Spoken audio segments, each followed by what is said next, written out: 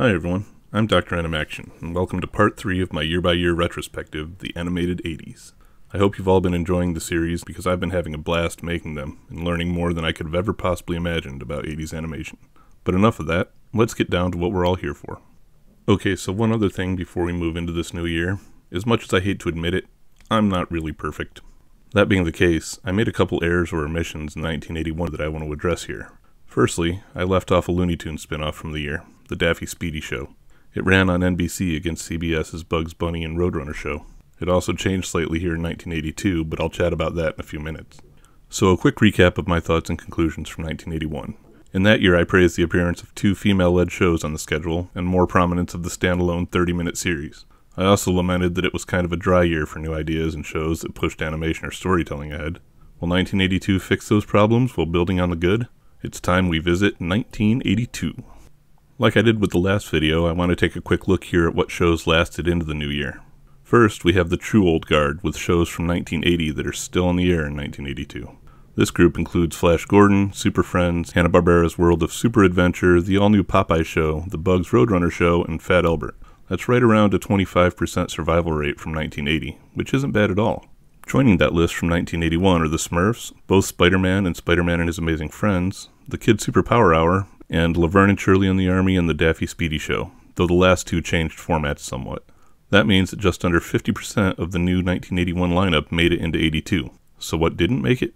This list is kind of a sad one because it includes my two personal favorite shows from 1981. Goldie Gold and Action Jack, The Kwicky Koala Show, Trollkins, The Tarzan Lone Ranger Zorro Adventure Hour, and worst of all, both Blackstar and Space Stars all met their ends in 1981.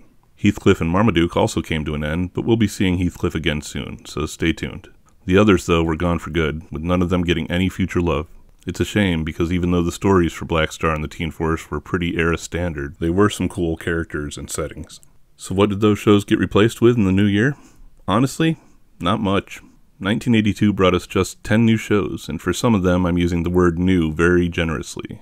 This year we got Meatballs and Spaghetti, Shirt Tales, Pandemonium, The Gary Coleman Show, Gilligan's Planet, an Incredible Hulk cartoon, and a few multi-bills or variety shows like the Pac-Man Little Rascals Richie Rich Show, the Mork and Mindy Laverne and Shirley Fonz Show, the Scooby and Scrappy Doo Puppy Hour, and the Flintstone Funnies. Out of all of them, none were really new and unique from an idea perspective. We had a couple shows based on live action programs or people, a few legacy character shows, either cartoon or comic book, and just three fresh ideas. Shirt Tales was about animal crime fighters and in many ways reminiscent of several earlier Hanna-Barbera shows like Hong Kong Phooey or Quick Draw McGraw, combined with the team aspect of Scooby-Doo and the slice of life aspect of the Smurfs. Pandemonium was about an evil wizard chasing a MacGuffin and a pair of kids with a trio of pandas racing to stop him, the pandas could combine into a single super panda, though, which was interesting, but the concept wasn't unlike any of the other race for the item with our superpowered friend shows of the past. Lastly, 1982 brought Meatballs and Spaghetti, which followed the adventures of a singing group as they drove across the country. Think Josie and the Pussycats, but with more hijinks and less mystery solving. Gilligan's Planet took the Gilligan's Island formula and transplanted it, wholly intact, into space. The Mork and Mindy, Laverne and Shirley Fonz Hour did the same thing, taking the Mork and Mindy concept into animation and pairing it with season 2 of Laverne and Shirley and the Army. I still prefer the original live action versions of each of those shows over the cartoon adaptations, though.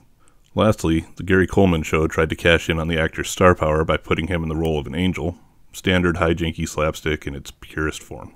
Similar to the couple of years we've already covered, this year brought back a handful of legacy characters. Unlike 1981's Space Stars, though, these shows followed the Hanna-Barbera's World of Super Adventure formula and just reran older productions.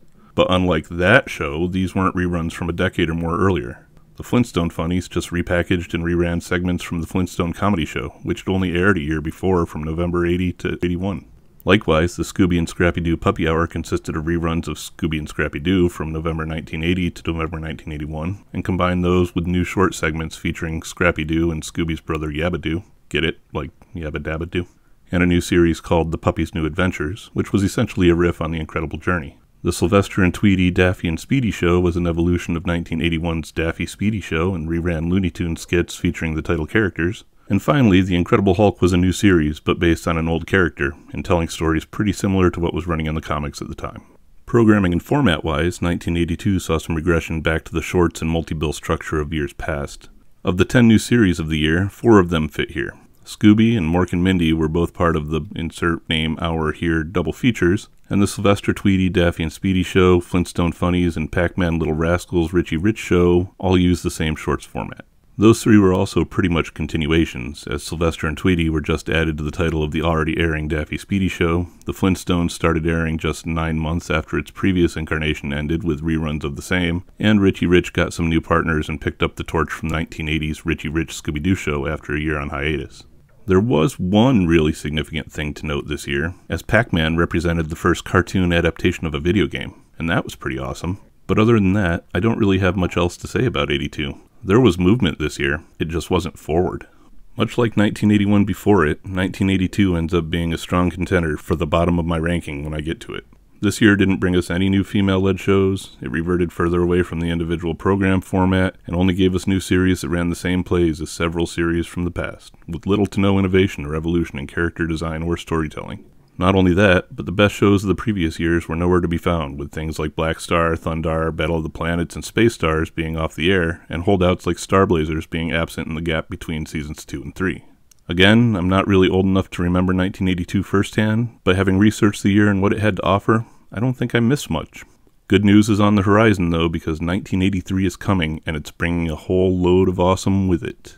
Well, it wasn't the longest list of new shows this year, but unfortunately, you're not going to be finding most of them. As of May 2023, of all the new series I just covered, The Gary Coleman Show, Pandemonium, The Puppy's New Adventures, Meatballs and Spaghetti, Mork and Mindy, and The Little Rascals have all faded away, with no official way, either in print or out, to watch them. The Flintstone Funnies can be found in its original Flintstone Frolics version with a boomerang subscription, and Richie Rich and The Incredible Hulk are both available for digital purchase on Prime Video. Lastly, Pac Man, Gilligan's Planet, Shirt Tales, and Laverne and Shirley in the Army are currently available on in print DVDs. This was a bad year for preservation of these series, and I fear it's only going to get worse. And there you have it a recap and analysis of 1982, such as it was. Overall, this was probably the weakest year that I've covered so far. I'll give credit to Pac Man for proving the concept of video games as cartoons and opening that floodgate, but otherwise, this one is just kind of a footnote in animation history. There weren't even any action candidates for this channel. But what do you guys think about this year? Did it impress you more than it did me? If you do agree with me, don't let the year ruin your excitement, because I promise 1983 will rekindle it next week. I hope to see you all there. Thanks for watching, and I hope you're finding this series to be a fun ride. Stay tuned, and stay tuned, as in cartoons. Later.